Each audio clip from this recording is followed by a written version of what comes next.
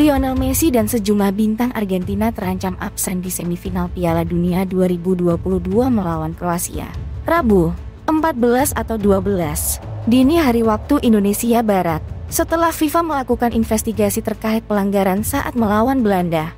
FIFA telah membuka proses investigasi terhadap Asosiasi Sepak Bola Argentina, AFA, untuk dua potensi pelanggaran kode disiplin dalam duel perempat final Piala Dunia 2022 melawan Belanda. Duel Argentina versus Belanda berlangsung panas. Wasit asal Spanyol Antonio Matulahos harus mengeluarkan 18 kartu kuning untuk kedua pemain, yang merupakan rekor untuk pertandingan Piala Dunia.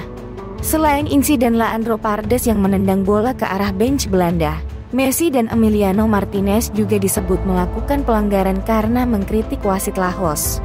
Messi juga sempat bersih tegang dengan ofisial pelatih timnas Belanda, termasuk Louis van Gaal dan Edgar Davids. Komite Disiplin FIFA telah membuka proses investigasi terhadap Asosiasi Sepak Bola Argentina karena potensi pelanggaran. Pasal 12 pelanggaran pemain dan ofisial dan 16 ketertiban dan keamanan di pertandingan dari kode disiplin FIFA selama pertandingan Belanda versus Argentina yang berlangsung pada 9 Desember.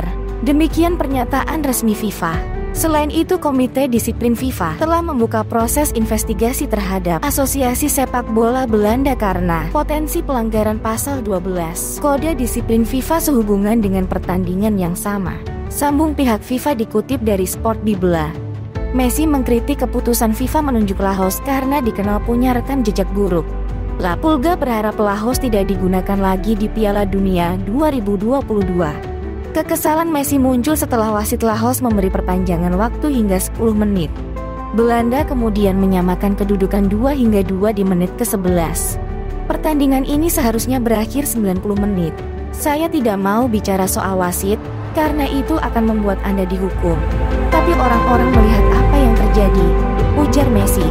Sejak awal kami takut, karena kami tahu bagaimana Lahos dan saya pikir FIFA harus mengevaluasi hal ini. FIFA tidak bisa menaruh wasit seperti ini di pertandingan penting, ucap Messi. Messi dan Parde sudah mendapat kartu kuning pada laga melawan Belanda. Peraturan Piala Dunia 2022 menyebut kartu kuning di perempat final akan dihapus di semifinal. Namun dengan investigasi FIFA, Messi, Pardes, dan Martinez berpeluang absen karena sanksi.